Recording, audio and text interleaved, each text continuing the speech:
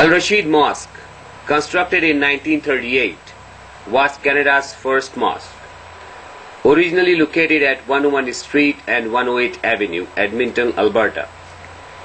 It was moved a few blocks away in 1946.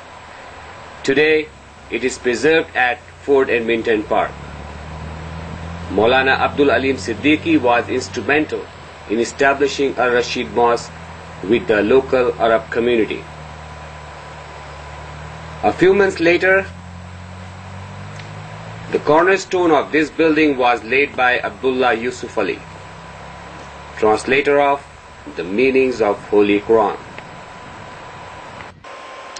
The first Mohammedans, as white Canada called them, them, arrived on the prairies more than 100 years ago, leaving homes in Middle East and Southeast Asia in search of prosperity and often fleeing wars and conscription.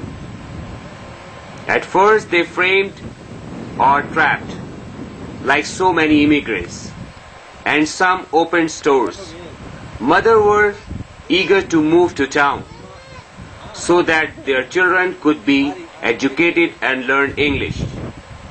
By the early 1900s, there was a small Muslim community in Edmonton, and fundraising for mosque started in 1930s.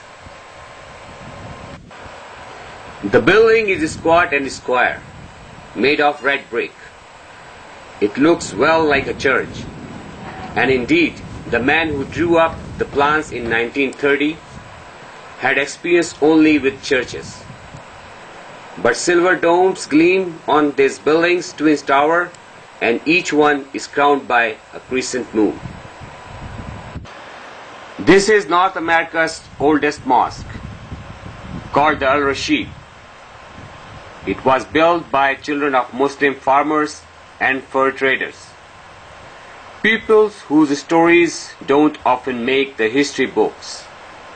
Erected in 1938, it served the burgeoning Muslim population of Edmonton faithfully for 50 years.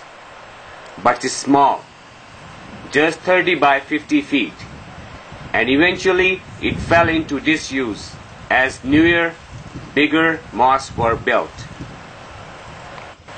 And it was very nearly demolished for a parking lot until a feisty group of women, Muslims from all ethnic heritages, fought City Hall and to have it declared a heritage building and moved into the Fort Edmonton Park historic site.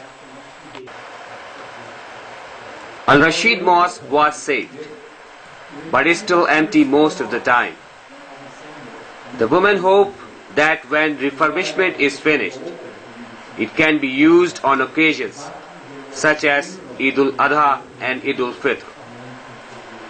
And they are pleased to see it settled there in park. At the end of a row of 1920s shops, a red brick testament to the long presence of Muslims in their country. Inside, there are no pews, no altar, just a stream of light from six arched windows and rich Persian carpets on the floor. There is a podium at the front on which a copy of the Quran rests in a gilt box and an arched Qibla built into the wall, showing the direction to Mecca. In the Depression years, nobody had much money for the project. All the Muslim families in town contributed what they could. So did Arab Christians. It was finally finished in 1938, built on a small plot near center of town, on land donated by the city.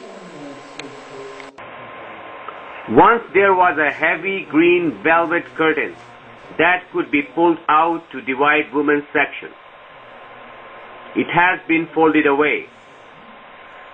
But in one corner stands the wash basin and proclaimed jug that the faithful used to wash for prayers in the days before indoor plumbing. The mosque became the heart of the community, drawing Muslims from all over, including those who headed for Edmonton simply because they heard there was a mosque there.